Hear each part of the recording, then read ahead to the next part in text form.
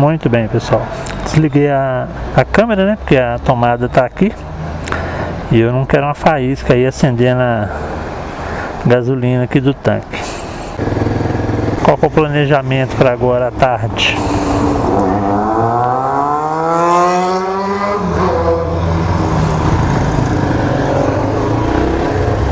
Não basta ter uma moto esportiva, tem que fazer barulho para os outros olharem. Olha para mim, gente. Como eu estava dizendo, planejamento hoje e pegar o certificado lá no SEST Senat e depois passar numa loja que vende acessórios para motos e comprar uma redinha para segurar o capacete. Além disso, eu estou querendo comprar um capacete aberto para poder trabalhar, não para mim, para os passageiros. Então vou ver se tem esse capacete aberto e quanto que é, né? Porque se for muito caro, não adianta. Aí eu compraria pelo, pela internet. Curiosidade, fiz até o print de tela hoje para vocês verem que eu não estou mentindo pelo horário, né? Na câmera tá aparecendo aí o horário da gravação. E a previsão do tempo hoje é às duas da tarde. 80% do território debaixo de chuva. Vai estar chovendo em 80% do território às 3 da tarde, 100% do território vai estar sob chuva, sob chuva. Às 4 da tarde, 90% do território sob chuva.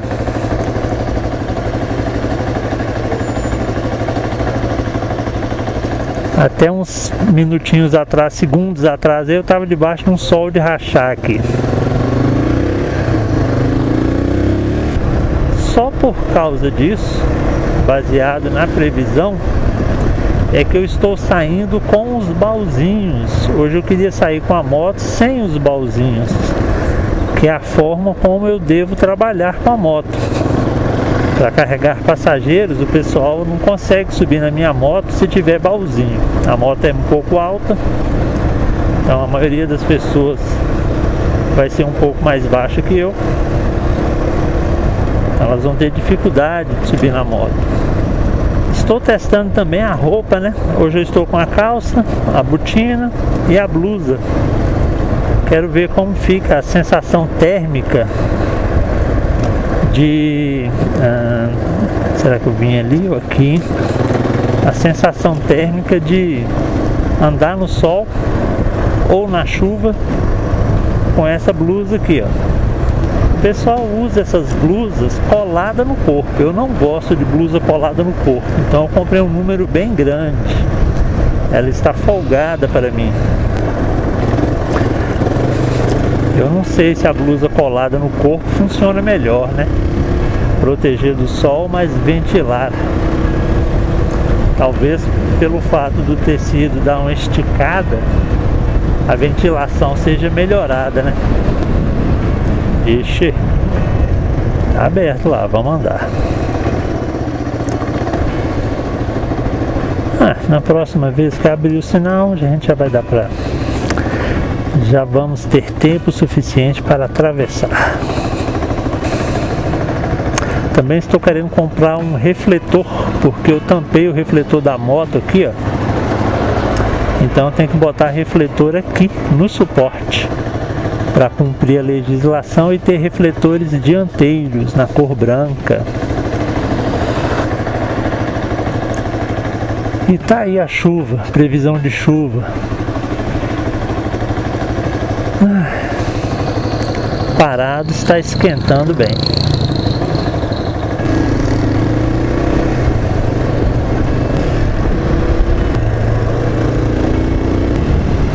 O que será que vai sair aqui?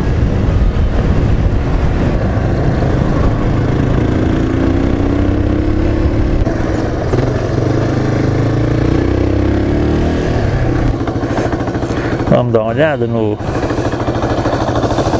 no suporte. Até agora tá firme. Parafuso que veio é diferente, aqui é 12, esse aqui é 13 e a rosca é diferente, eu não gostei disso. O pessoal do que fabrica o suporte não teve o cuidado de fornecer um parafuso com a mesma rosca padrão da moto. Não está vazando óleo, ok? O problema do vazamento aqui de óleo era realmente que eu estava usando um óleo excessivamente fino para essa moto. Limpei a moto o máximo que deu. Buzina de carro que eu coloquei na moto. Hoje não, obrigado, amigão. Oi? Tô sim. Sim. e aqui, ó, no baúzinho tem aquele refletor de caminhão. Ele é branco na frente, na frente do baú e vermelho atrás. Se eu lembrar, vou botar uma foto com flash da traseira da moto e da frente da moto.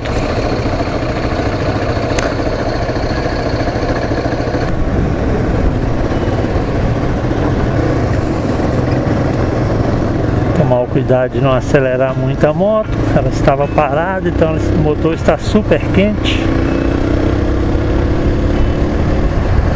ganhar um pouco de velocidade primeiro esperar um minutinho para o motor voltar à temperatura de trabalho dele.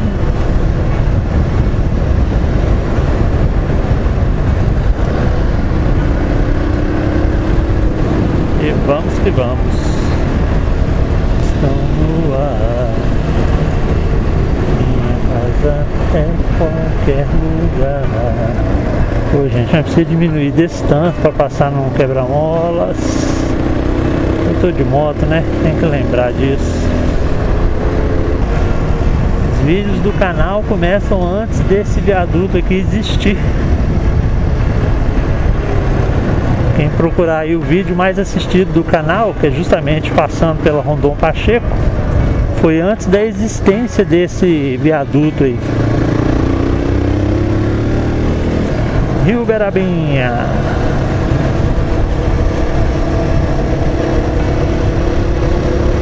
Aqui tinha uma rotatória nesse cruzamento aqui.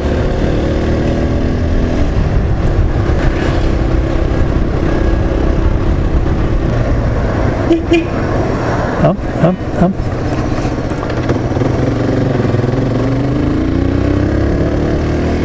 Olhei para trás, o carro estava longe ainda, por isso que eu parei para a senhorinha passar. Nem sempre a gente consegue parar para ajudar.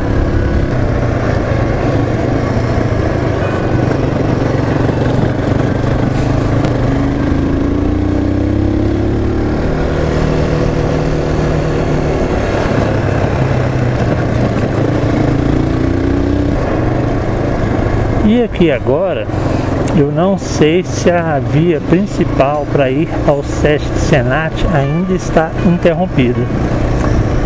Então eu vou dar a volta aqui até acertar a Getúlio Vargas novamente.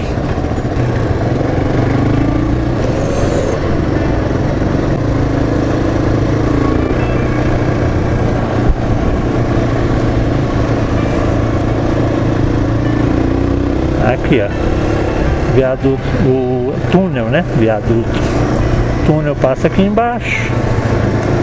E aqui a gente acessa a pista que sai do túnel.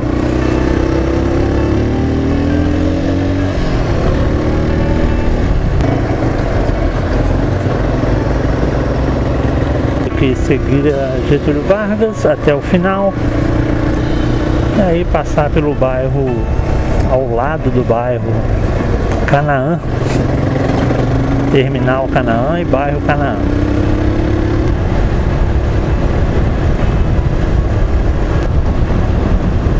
Aqui é o final da Getúlio Vargas, esses dias para trás, saindo do SESC Senat, em um dos dias que eu saí do SESC Senat, eu passei nos bairros aqui à nossa esquerda.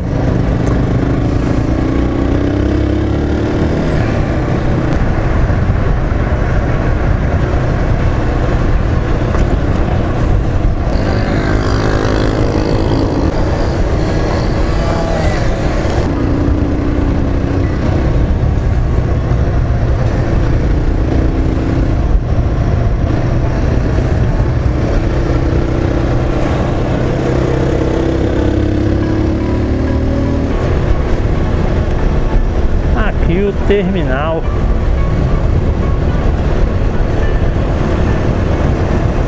Canaã.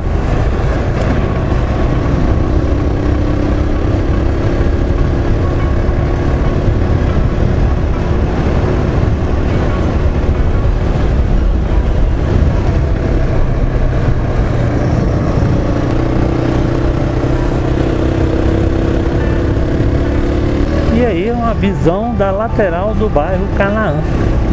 Pelo que eu sei, né? O bairro Canaã é esse aqui. Uma placa de palha ali tem. E aqui é aquele estreitamento de pista que não dá para entender. Por que, que não passaram essa pista reta aqui?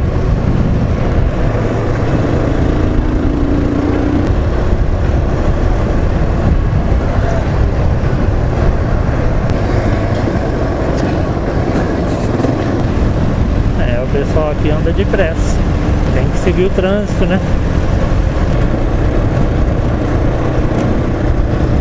Senão ia passar direto. Ali eu errei a travessia no dia que eu saí do Sesc Senat. Eu olhei para um lado, comecei a atravessar, mas como eu tenho o costume de sempre olhar para os dois lados, olhei para o outro lado, estava vindo um caminhão.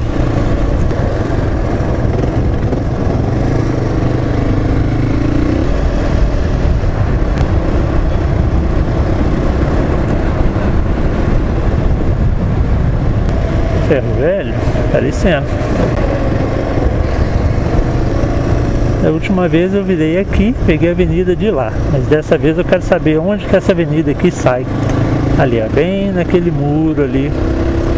Aquele muro termina abaixo do Sesc Senat, bem em frente ao bloqueio de pista. Pode ir, pode ir. Au,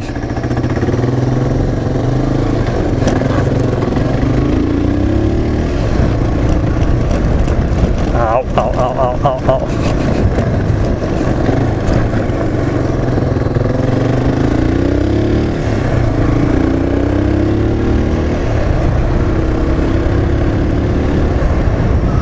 Ah, o cara botou uma placona com os preços ali do outro lado da rua, foi uma boa ideia condomínio e um terreno que eu não sei o que é. Terreno gigante, gigante. Não sei se. Ai meu Deus, esgoto. Ai! Ai!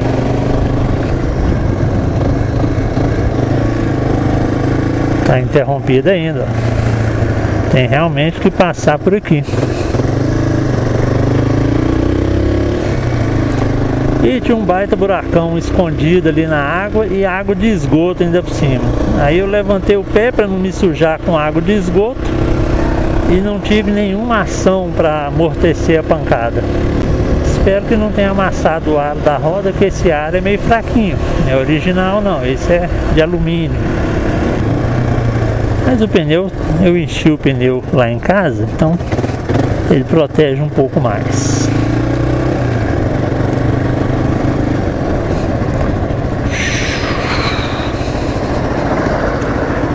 Maneira correta de atravessar a pista aqui. Sai da pista, olha, atravessa. Você não para no meio da pista não. Opa, boa tarde. Eu vim pegar um certificado do curso de mototáxi aí. Marcelo. Marcelo.